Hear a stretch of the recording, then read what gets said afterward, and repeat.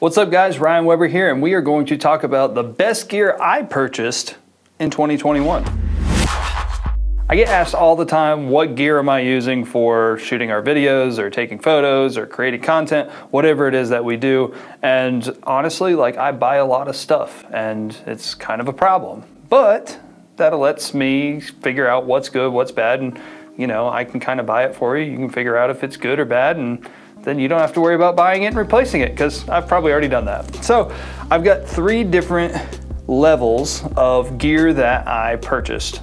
So we're gonna do the zero to $100, the 100 to $1,000, and then the $1,000 plus gear that I purchased that was my favorite gear in 2021. So these are the things that made the most impact for my business of being able to create content, shoot videos, and make higher quality productions for the clients that we work with. Starting off in the zero to $100 range, is this Nanlite PavoTube 6C. This is a little Nanlite PavoTube. It has a really high CRI. Basically CRI is um, how well the color is what it says it is. It's a really simple way to put it, but it has a high CRI. It is battery powered. We'll turn this bad boy on.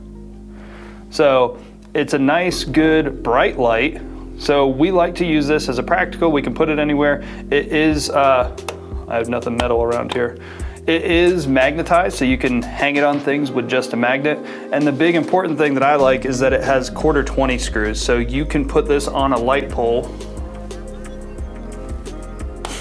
you can put this on a light pole somewhere, screw it in, and we like to use it as a hair light. So it sits right above here and it helps separate you from the background. Um, that's our main use of it, but you can also use it as kind of like a, a fill light. You can use it as a light on a product like this, and it's just a really nice um, piece of equipment that you can use that was under a $100. It also changes colors, so we can go uh, any color you would like. It's got all these little color effects and things that we never use, but really we like it just because of the versatility to be able to use in backgrounds, but mainly our purpose of what we do is we use it as a hair light to help separate our subject from the background and it's really small and portable and it's just not a huge thing that we have to bring in addition to all of the other equipment.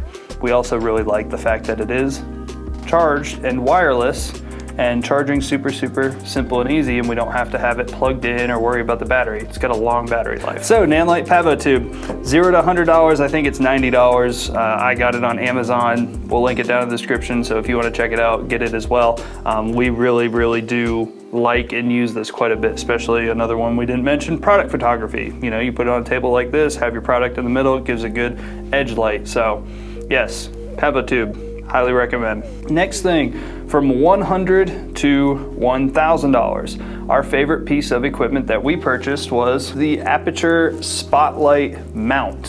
What this does is it allows a very directional light. It amplifies the light, it magnifies the light. So now this is magnified and shot through harder. So it basically brightens up your light. It's like shooting the sun through a magnifying glass, it gets brighter. This is an attachment we really, really like because it is stronger now. We can shoot it into the ceiling, brighten up a whole room, or it has this thing, I wanna say it's called a cucurloris, where you can put in little filters and it basically makes patterns on the wall.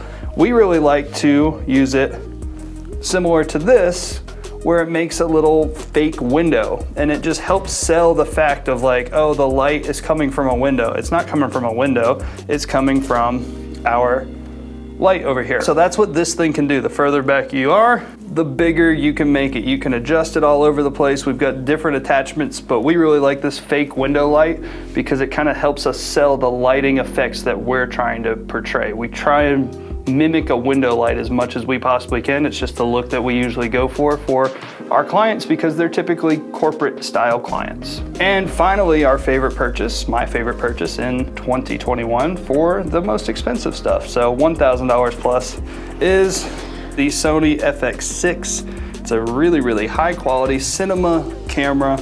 What I like about this thing is one, the image quality is really nice. We've been shooting on the FX3, which is this, and it's the same sensor, so now we can match cameras, super, super simple, but this just makes it a little easier. It's all in one.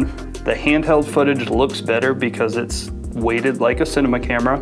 It's bigger, that's the only downside to it is it is slightly bigger and there's no image stabilization. But we've found that we like the look of this handheld better than we like the look of the FX3 even though it does have stabilization. The huge benefit to the FX6 is the built-in ND filters. So we don't have to bring anything. We bring this with a microphone and we're good. Whatever lens you want, you don't have to worry about filters, you don't have to worry about messing with anything you have the ND filters, you have XLR audio, you have an LCD screen that looks good, and you've got a great run and gun camera that you can shoot anything super high quality that you would expect to see on TV, Netflix, whatever, and it's just all in this package. So this has been by far my favorite purchase.